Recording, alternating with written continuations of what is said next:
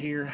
Guys are taking a break from digging, but it's uh, kind of a hard site to work on. It's still a little steeper than you think. But we've got some good subgrade here. It's going to be nice to build on that chert, that red clay looking dirt. Oh, by the way, I've got a list of all the entries for the giveaway up on my website, artisantony.com. And it's on the front page there. All you have to do is go to artisantony.com and check it out. And uh, please check and see if your name is there and in the right categories. So there's 103 entries, so I could have possibly made a made a mistake. And uh, just want to make sure we're all straight.